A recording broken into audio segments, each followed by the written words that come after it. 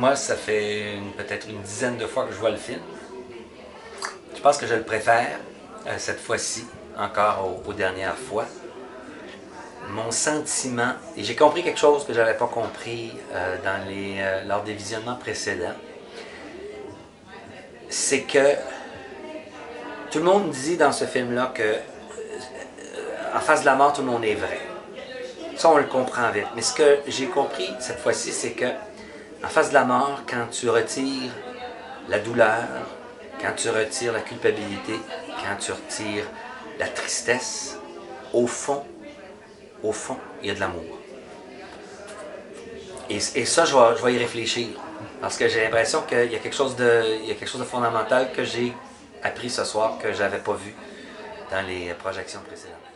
Je pense que Violette a, malgré elle, accepté de se mettre à nu, d'enlever tous les filtres. Et comme en plus, elle est une artiste euh, dans l'âme et, de métier, euh, elle s'est à la fois mise à nu et elle l'a fait aussi de façon poétique.